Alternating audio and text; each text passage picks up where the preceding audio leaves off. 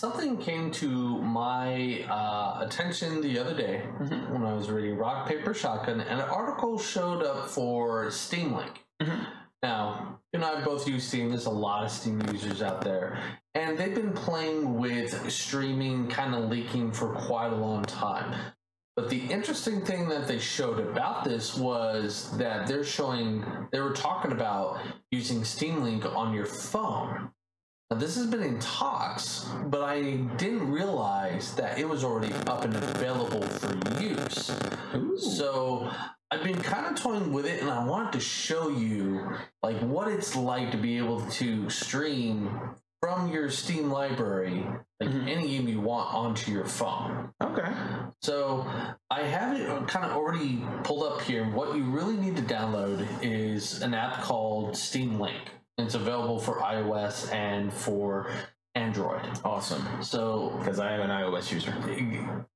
Oh yeah, that's right. IPhone. So basically, you first have to do some customizations, which I've already done here. It automatically recognizes the desktop. I'm going to use a touch controller, though you can, if you have like a Bluetooth, you can pair the controller. Uh, it shows I have a good connection.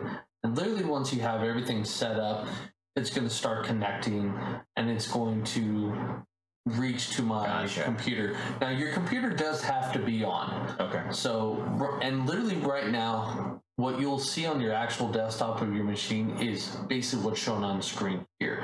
It'll boot directly into uh, what this is called the the couch or the the big TV Uh, uh, app for. yeah, yeah. So I can kind of control everything here either by like with the the D-pad here, or if I have a mouse, you can also access the mouse to be able to, you know, control things and Nice. kind of see fit. So it's basically remote desktop for Steam. Pretty much. Yeah. So I can just select a game here. If I want to, uh, let's say I want to check out, well, not that, not Killing Floor. I want to install that. So I want to play The Messenger, mm-hmm. right? So right now I'm using the D-pad interface that's on here to select everything. So I would just select that, and just like the Steam couch thing, press A, press A to play, immediately starts launching your game and I can just start playing it right here on my phone. Nice. So, and everything is based off of your Wi-Fi connection. You can't really do anything with mobile data or anything like that. Yeah. So it does get a little weird, but it'll hold. A, Oh wow. It'll hold everything right up here. So I have my start, start and you start select. select and everything. So I can just start. Ooh. I will say I'm I am using the uh, Galaxy Note uh, Note 8 for this. So it is a little bit of a bigger phone, and depending on your connection with your phone to the Wi-Fi, you might have a little bit of latency, but you kind of see I'm Oh wow. playing it pretty well. Now some some games are not gonna They're not translate over well. You might Yeah, get a lag. It's all based on your connection as usual. But this is actually pretty badass. yeah, it is pretty dope. But Yeah. Yeah, so a I'm bit of a losing- drop there. so I'm losing connection to the I'm not Wi-Fi. sure exactly why. It's either something with my Wi-Fi, but I got to take a look at that. But yeah. Yeah. So, but I mean, when it works, I mean, it works pretty well. Like, you can really kind of do some stuff. Though I'm not, I'm not a fan of the actual touch controller that's, you know, located on here. Mhm. But I mean, if you're in your house in one room and you want to play something, your girlfriend uh, is using the computer or Yeah, something headphones. You use headphones, you get your thing. But you could also use the uh, mobile controller adapters that you can plug into your phones because iOS has it, and I know that you know, Android has them as well. Exactly. So you'll be able to plug in and you know play wherever you're sitting, exactly. and, and that's that's pretty badass. It's pretty dope. And like uh, when I first used it, I tried uh, using like uh, Final Fantasy 13, Mhm. see how that would run. Runs perfect because you're literally streaming the video from your computer to there. So anything Yeah. that your computer can run, it'll show up right here. And you're and you're basically just remotely controlling it. Ex- So exactly. So uh, you do have a lot of different options. Like you can use a touch controller. Um, You can turn that off. You can use a trackpad, trackpad cursor, direct cursor. You can disable the mouse. You could also layer out the uh, the layout itself. You can kind of control where everything is. So if I were to do like layout controls, it'll show it just like a regular kind of controller that you set up for your screen. Now, Gotcha. now if you, I had a bigger device like a like an iPad or one of the Android pads, I'd probably be able to customize a bit more. But with your cell phone, you only have so much space to do that. Okay.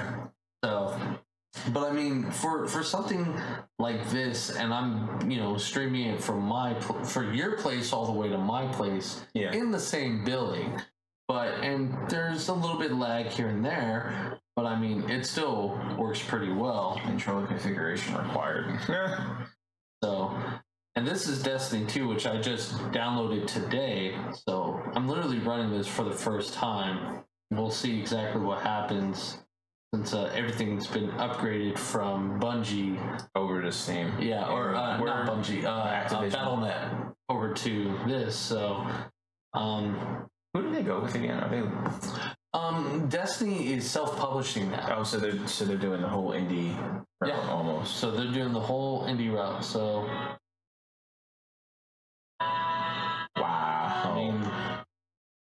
This is playing buttery smooth for the most part, minus the the little delay I'm having with my Wi-Fi. And some reason, I'm having some kind of issue. I'm gonna have to like look into that. But Correct, yeah.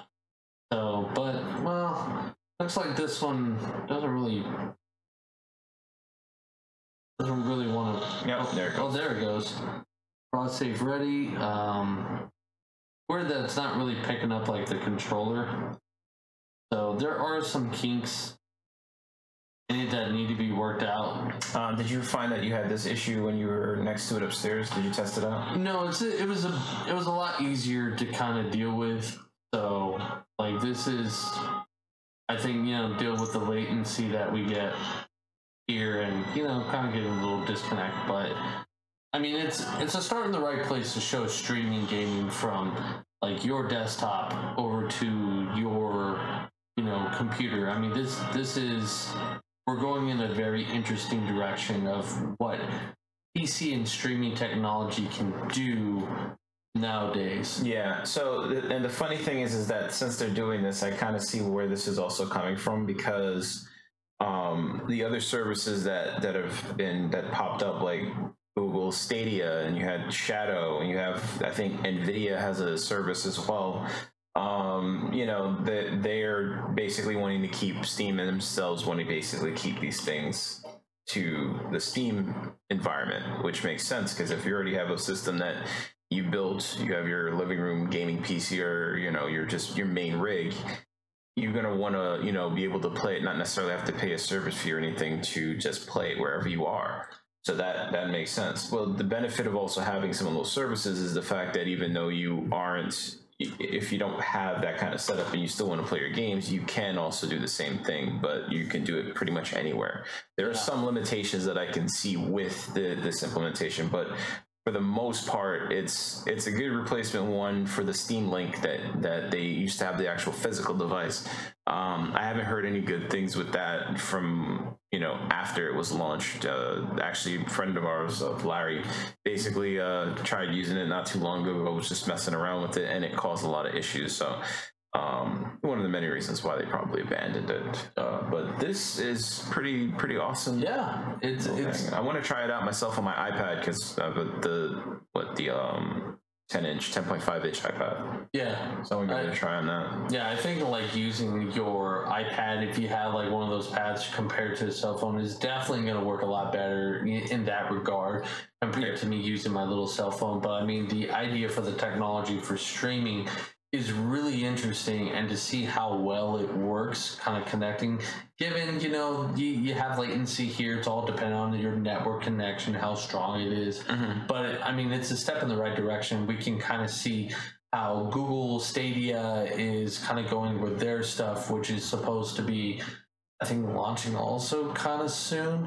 But I mean, we're gaming is going in a very different direction, and it's it's interesting to see that Yeah. beginning to change. So. it's the mobile eh, focusing on mobile and, and and people are trying to bring games wherever they go just to if there's like some downtime and things just to keep them preoccupied but yeah So I haven't tried. Uh, I haven't tried leave my machine on, and then if I get a break at work, trying to connect it at work, since you know, got a pretty good.